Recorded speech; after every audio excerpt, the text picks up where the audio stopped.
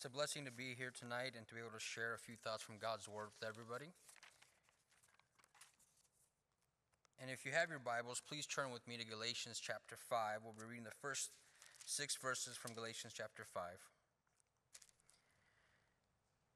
And in a time when we're facing a pandemic and facing a, a global crisis, it seems that where the governments of the world have deemed certain things essential versus non essential, um, I thought it'd be interesting tonight to discuss and to share a few thoughts on what seems to be essential in the Christian faith and perhaps some things that are not as essential and where our focus should be. And perhaps tonight we will have the opportunity to kind of refocus our thoughts and our minds, our hearts on the essential things of God's Word um, as we look through the passages in Galatians and a few other passages.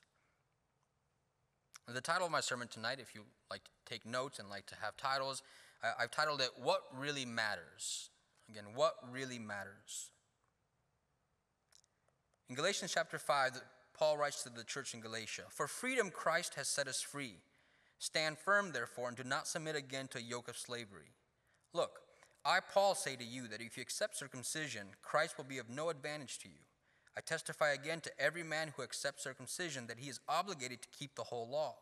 You are severed from Christ, you who would be justified by the law. You have fallen away from grace, for through the Spirit by faith, we ourselves eagerly wait for the hope of righteousness. For in Christ, neither circumcision nor uncircumcision accounts for anything, but only faith working through love. Continuing down in verse 13 For you were called to freedom, brothers, only do not use your freedom as an opportunity for the flesh, but through love serve one another. For the whole law is fulfilled in one word you shall love your neighbor as yourself. But if you bite and devour one another, watch out that you are not consumed by one another. Amen. It's usually easiest to reflect on what matters in life when we're going through a tough time. I think all of us uh, at one point or another in life where we have trials or tribulations, be it personally in our family, be it in our friend group, perhaps we lost a job or, or something happened, we tend to reflect more on our life, what really matters, what's important. And I think all of us are equally affected to some degree by this, by this pandemic that we're facing. And, and so perhaps we've had time to reflect on what really matters in our life, whether we want to focus more on our families, whether we want to focus more on, on certain things, or um, we have more free time to do. And so tonight I would like us to I'd like to present just a few thoughts of, of what things really matter in the Christian faith. Um, you know, we live in end times, and we say that all, a lot. We live in the end times, and I, I really believe that we don't have the luxury or even the time to really focus on non essential matters that we often focus as Christians and as humans. But instead, we ought to re- refocus our, our, our mindset, our hearts on what's essential from the Word of God in order that we may live the last days that we have, be it a few days, be it a month, be it a few more years, um, in obedience to God's Word and living for, for the Word of God and for Jesus. And so, looking here in Galatians, just to give a little summary of what's happening in, in this in the first few chapters, um, there's a tension in the church of Galatia. Paul had proclaimed the, the gospel to the church of Galatia, the church was formed by the Spirit, and they believed, they had faith, and by the Spirit they were led in faith and believed in Christ Jesus, and they were saved.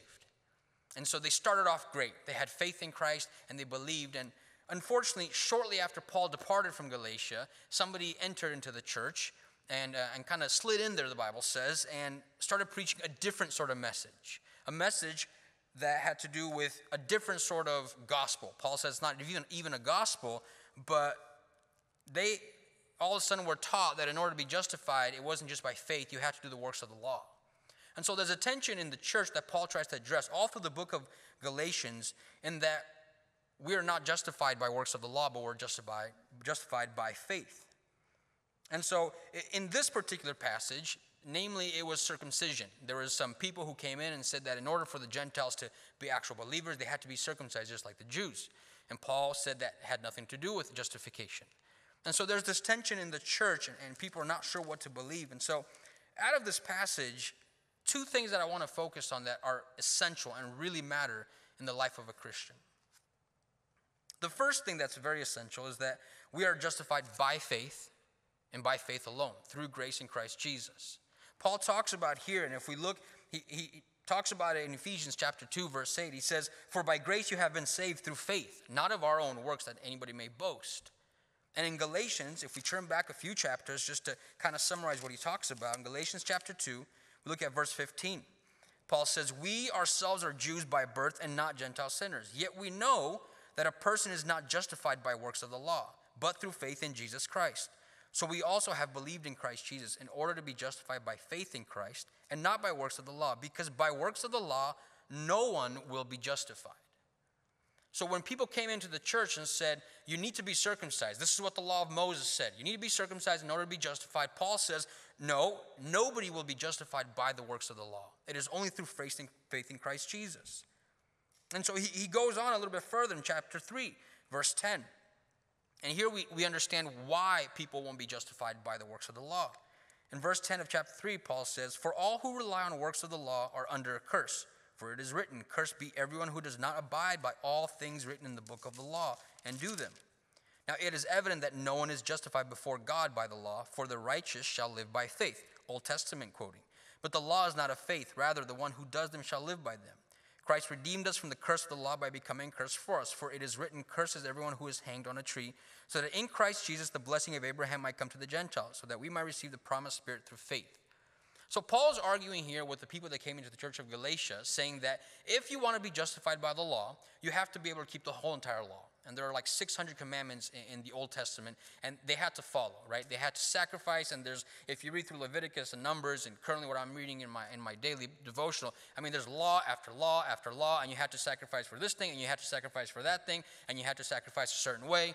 And Paul's arguing that we no longer live by these laws. We no longer live under the Mosaic or the law given to Moses as a means of justification. Now, this does not mean that we don't read or obey the Old Testament. The Old Testament is part of the Bible, it's part of the Word of God, but we have to filter the Old Testament through grace, through the New Testament, through Christ and what Christ has done. And so we look in the Old Testament, and Paul says, fine, if you want to be justified, it's not just circumcision, you have to obey everything. Now, we find a problem, and, and he talks about this in Romans and in Corinthians, where we are not able to keep all the commandments perfectly. All of us were born into sin. All of us sin on a daily basis. And so the Bible in James says that if you're guilty of one of these, you're guilty of the whole law. So by default, we automatically fail and we cannot be justified. God gave a law to the people of Israel, a law by which they could not be justified. And it, it talks here about why he gave that law, but that's for a different time and, uh, and topic. And so Paul's arguing that in order to be justified by the law, you have to keep the whole law, which is impossible to do. And so he argues and says that even the Old Testament, you know, in Habakkuk or Abraham, it says that Abraham believed and is counted to him as righteousness. It was faith, not works. And Abraham came 400 and something years before the law was given. And so, even here in chapter um, 3, verse 11, it says, The righteous shall live by faith. One of the most essential matters in the Christian faith is that we were redeemed by Christ Jesus and we are justified before him in faith, not by works of law, not by the things we do. Not one of us can come and tell God, I've done X, Y, and Z, and therefore I'm justifiable before you. We're only justified by faith in Christ. If you believe in the Lord Jesus Christ, you and your household, you will be saved, the Bible says in Acts. If we don't have faith in Christ Jesus, it doesn't matter how many rules or customs or traditions we follow, we will never be justified before God. And so, the first essential thing that we ought to understand and what really matters is that we are justified before God only through faith in Christ Jesus. Our theme for 2020 is following Christ.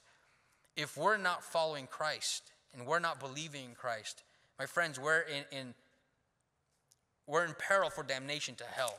Despite how many church attendance we go to, despite how many songs we sing, despite how much scripture we read, if we don't believe in Jesus, we won't make it to heaven. It doesn't matter what our status or our label is.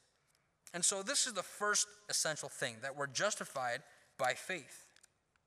Now, Paul goes on a little bit further in chapter 5 and says in verse 6 For in Christ Jesus, neither circumcision nor uncircumcision accounts for anything. Paul is not against circumcision, he himself was a Jew. He says, I'm not against circumcision, but it's not a matter of justification. He says, when it comes to Christ, in Christ, it doesn't matter if you're circumcised or uncircumcised. All that matters is faith working through love. And so when we start off and it says, For freedom Christ has set us free in chapter 5, stand there, firm therefore and do not submit again to yoke of slavery. We often think of that as being sin. But Paul here is referring to not submitting again to a rules and a standard of the Mosaic law for the Galatian church. He's telling them, You once followed rules and laws, but you've been justified by faith. You've been given a gift of salvation. Don't go back to the old way of thinking. And so he talks about faith working through love. If we want to fulfill the law, and we, we don't we still have a moral obligation to obey the commands of the law in scripture so you look in, in, in the old testament and there's very clear uh, commandments there's very clear things that were brought into the new testament. Christ even said that, you know the whole entire law and the prophets fall in two things loving the lord jesus christ with all your heart soul and mind and loving your neighbor as yourself. And so god has freed us from the curse of the law. We can't keep the law. We're only justified by faith. And so if we're justified by faith, in order to live the law according to how Christ wanted us to live the law, it has to be through faith, working through love. And this is my second point. A second, and there's a lot of essential things in, in Scripture, but the other second essential thing that has been on my mind is uh, loving one another and, and pushing aside all of our differences as Christians. We had a, a question at, uh, at youth um, and I think I still have it in my Bible. But essentially, the question was saying that how can there be so many different beliefs and convictions, and yet everybody still believe in the same God? Or call themselves the Christian? And it's a very valid question that young people deal with. They say, I see so many different people who say they're Christians, who say they love Jesus, who say they believe, and yet they have different convictions and beliefs. How can this be so? Um, all of us will have certain convictions. Convictions are something that we're, we're personally brought into saying that I should not do this or that because it's not good. Now, convictions are not necessarily a sin that's labeled in Scripture. We ought not to preach convictions from the pulpit. We should just preach the Word of God. I have my own personal convictions that perhaps somebody else doesn't. And I'll give an example of this. If we turn to Romans chapter 14, in Romans chapter 14, I'll read a few verses. Paul writes here As for the one who is weak in faith, this is verse 1, welcome him, but not to quarrel over opinions. One person believes he may eat anything, while the weak person eats only vegetables. Let not the one who eats despise the one who abstains, and let not the one who abstains pass judgment on the one who eats, for God has welcomed him. Who are you to pass judgment on the servant of another? It is before his own master that he stands or falls, and he will be upheld, for the Lord is able to make him stand. One person esteems one day as better than another while another esteems all the days alike. Each one should be fully convinced in his own mind. The one who observes the day observes it in honor of the Lord. The one who eats, eats in honor of the Lord, since he gives thanks to God. While the one who abstains, abstains in honor of the Lord, and gives thanks to God. So, Paul here is talking about in the Roman, there, there was a dispute in the church between the weak and the strong. There are some Jewish people who say we shouldn't eat X, Y, and Z stuff because this is how the Jewish tradition had been. They have a lot of commandments in, in, Leviticus and the Old Testament, you can't eat certain types of foods. Um, it's clear in the New Testament that God has done away with the commandments of what you can or cannot eat, but some people weren't convinced. We know of Peter when he had the vision of, of, of beast in the field, and, and a voice said, Eat, Peter. And Peter said, I dare not eat what is not clean. And God says, Do not call something that I have made clean unclean. And so we have, and even in Paul talks in Galatians about how we no longer follow these certain types of laws of what we should eat or should not eat. However, there are some people in the faith, brothers and sisters, who perhaps have been walking for years with the Lord or not so many years, who are fully convinced of certain things in their mind and say, I must abstain from this or I must abstain from that. While you have other brothers who say, I don't think that's bad. I don't know why you abstain from it. Now, we might not deal with days of the week or perhaps um, vegetables or, or, or, food. But in more contemporary terms, we've all heard in, in all cultures, Romanian, American, um, I'll give you a small example having a tie in church. Should we have a tie in church? Should we not have a tie in church? And my question is Is this essential for our spiritual state and our sanctification? And I'd submit to you that it's not essential. These are things that are convictions to each and one, every one of us. If, if for example, Marius is here with us tonight and he wears a tie to church and I don't, the Bible says if Marius has faith to wear a tie, he should not judge me for not wearing a tie, and I should not despise him for wearing a tie, or vice versa. Now, we can apply this to many other things, right? Should we wear a suit when we come to church?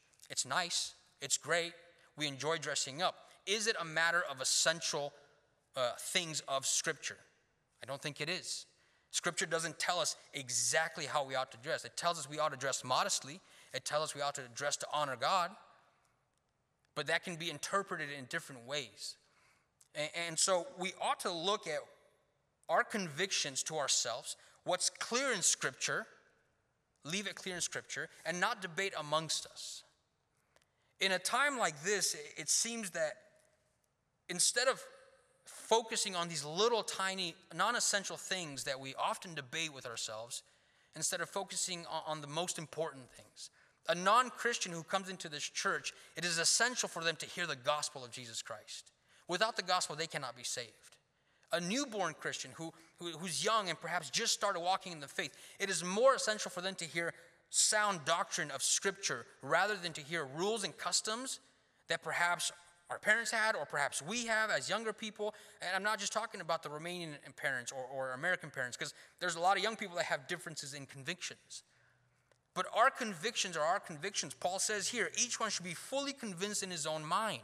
Paul had his own convictions. He goes on further in chapter 14 and says, I'm persuaded nothing is unclean in itself. But if somebody is fully persuaded that something is unclean, they shouldn't eat it. And, and further down, we talk a lot about not causing people to stumble. And if I have the opportunity to preach again, that'll be part two uh, of the sermon. But we don't know if we're going to have church again anytime soon. We don't. With the government, the way things are going, uh, we have virtual church right now. I, I meant we don't know if we're going to have physical church here at the gathering that we're used to. But my prayer is that as we are in our homes, as we're, we're fellowshipping virtually online or maybe just in small groups, that we focus on the essential things of Scripture, that we focus on, on the doctrines of Scripture, justification, sanctification, that we focus on obedience to God's Word. And we, and we leave aside the little arguments and debates that perhaps are not as essential to our spiritual state. In working with young people, I've realized I can tell a young person how to dress a million times, but you can wear a suit and still go to hell, and you can wear jeans and go to heaven. It does not matter to God as long as your heart is for Jesus. You know, oftentimes we, we like to say that if we go before the president, how would we dress? And, and to me, I always ask the question why do we compare audience with the presidents to audience with God? When God looks at the heart, the Bible says. Everybody in the Old Testament, Samuel looked at David and said, Him? But God said, You look on the outside, I look on the heart. And so I'm not, I'm not despising suits or ties. I enjoy dressing up just as much as the next person. But for the state of essential matters of the spiritual life, in the world we're facing, in the chaotic times, are these things that are so essential for us to bicker about? Or should we push them aside and, and, and focus on loving one another? You know, uh, the brother next to me maybe has a beard and I don't, or I have a beard and he doesn't. Should we focus on who's right and who's wrong? We don't have clear scripture on these things. We don't. And yet we, we act like we do sometimes. And so in Galatians, Paul's saying in chapter 5, going back to Galatians, and I'd like to close with this. For you were called to freedom, brothers, freedom from rules and rituals and traditions.